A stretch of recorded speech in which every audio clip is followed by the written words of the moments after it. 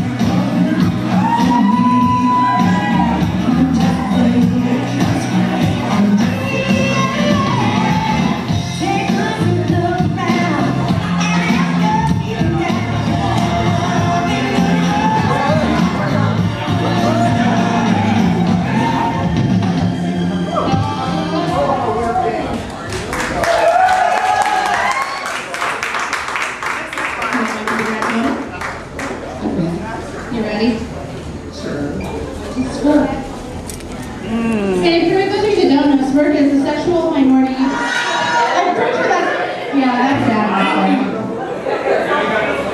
that warm?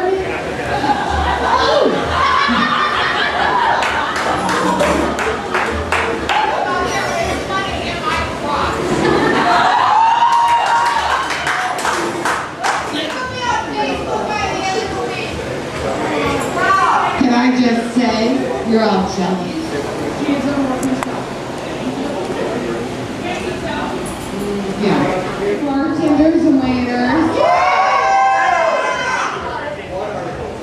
They've